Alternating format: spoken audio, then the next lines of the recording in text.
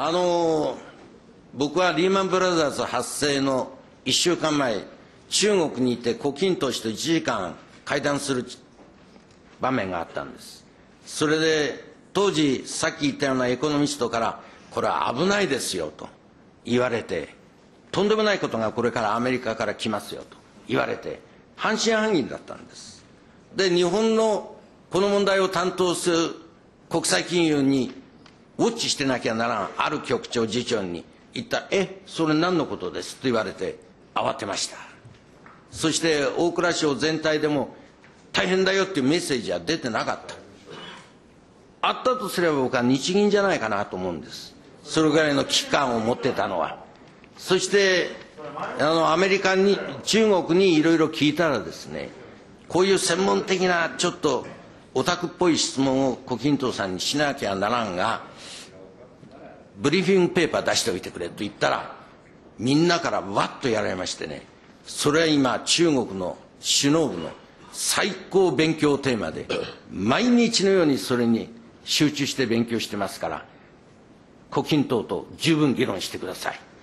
そしてしたらですね強烈な危機感を持って勉強していることがすぐ分かりました。さあそれは過ぎたことです。これから二番族が来るか来ないかっていうのはこれからもう一度今世界のですね国際金融の世界がそこから大波が来ないかどうかそういう日本の国益を損なうような政策のミスでそういったものがもう一度来ないかどうかです。日銀の見解を聞きます。日本銀行副総裁山口博秀参考人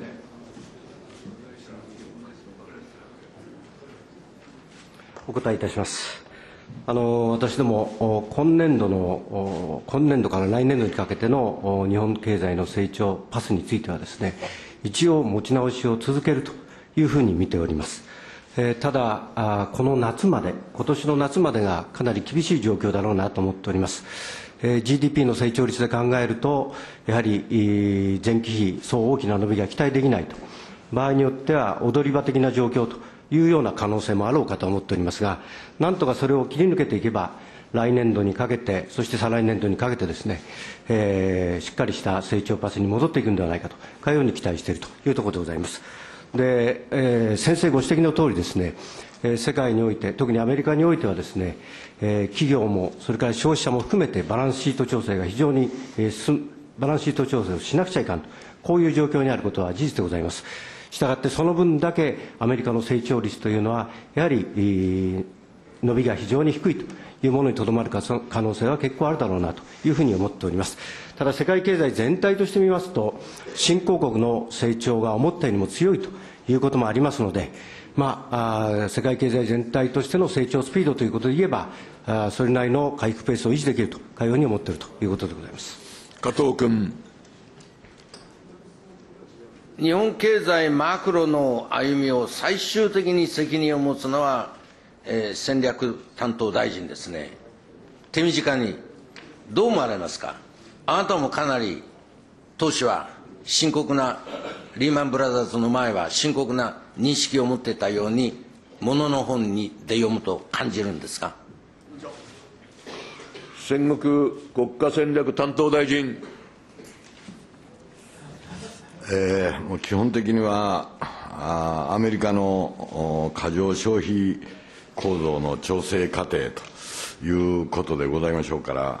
多分10年ぐらいはですねアメリカ経済はあ日本が陥ったようなあ状況になるだろうを得ない。特に先ほど貯蓄の話をされましたが消費から貯蓄へアメリカが変わらざるを得ない。とでその貯蓄というのはですね多分過半は借金返しにその追われると、えー、家計部門も借金返しに追われ、えー、それから産業部門も借金返しの方が中心になると。いうことなんだろうと思います。そういう中では日本もアジアもそこに依存したですね。アメリカの消費とほとんどなんていうんですか比例比例線を描いておった日本の輸出も当然のことながら厳しくならざるを得ないと。で日本はやはりアメリカに対しても、例えばファイナンスをつけてのエコーフレンドリーなシステムを輸出していくというふうな戦略、つまりオバマさんも多分アメリカの経済構造をですね改めて投資を呼び込みながら、それも実体投資を呼び込みながら、製造業、あるいはもう一度インフラ整備というふうなところにかけていくんだろうと思いますので、そこにまあ協調的なああの輸出といいましょうか、提供しなければならないと、そんなふうに考えております。加藤君。リーマンブラザーズの後、大変な世界金融から来る経済不況になったわけですが、その中でアメリカは日本の GNP の3倍の国、約150兆円ぐらいの対策、160兆円ぐらいのトータルの対策を打ったように思います。中国は我々にもうじき近づくかなと言われるぐらいの、まあ、450兆円ぐらいの GNP かなと思うんですが、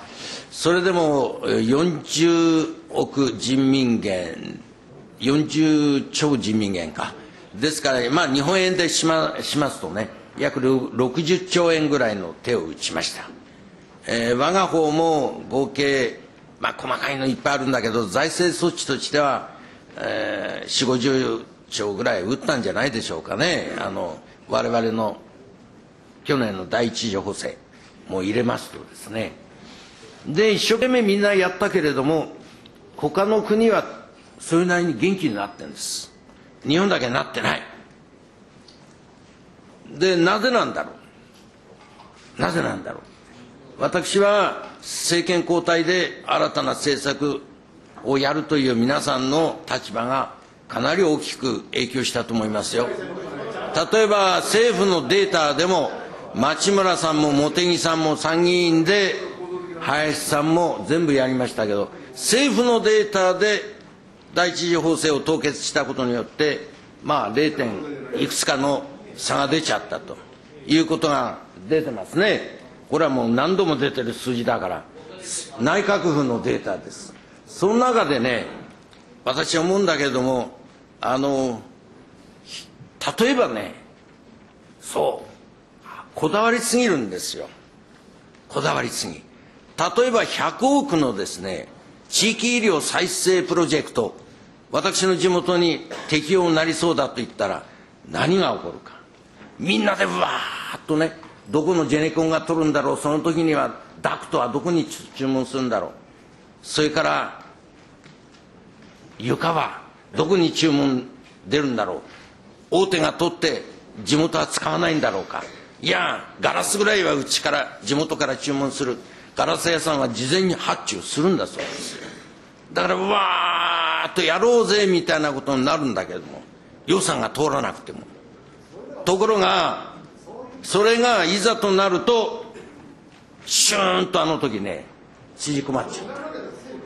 それは、愛知県でもそうだし、それから高知県でもそうだし、青森県でもそうだし、で、菅さん、聞きますけど、大きな6階建ての病院をで作ることはいいですか？悪いですか？その地域がもう本当にね MRI も入れるようないい病院作りたいと思っている時にそれは箱物ですか？コンクリートものですか？菅大臣。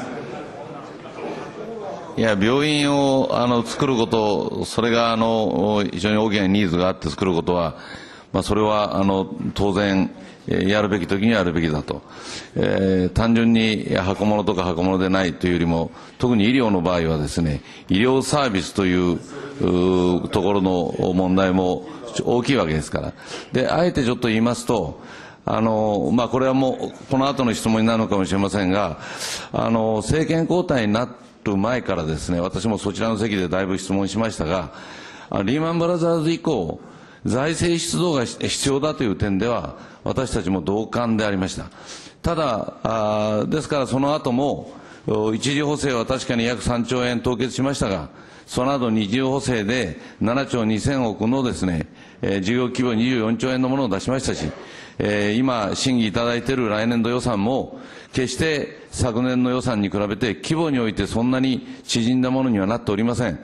今のこの緊急状態では財政出動は必要だと思っています。ただそのことと、そのことと中長期にですね、なぜこれまで日本が20年間経済成長が止まって、しかも800兆を超えるような国地方の赤字があ溜まったかという問題も見通した中で、歳出の中身を変えるという最初の仕事が一次補正の見直し、